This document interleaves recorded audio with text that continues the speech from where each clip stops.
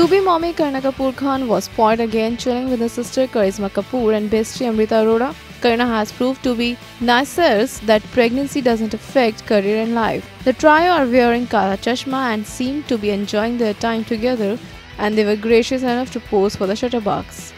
It's good to see that Karisma accompanies Bebo most of the time and taking care of her sister. Amrita Arora has captioned the post with three hearts.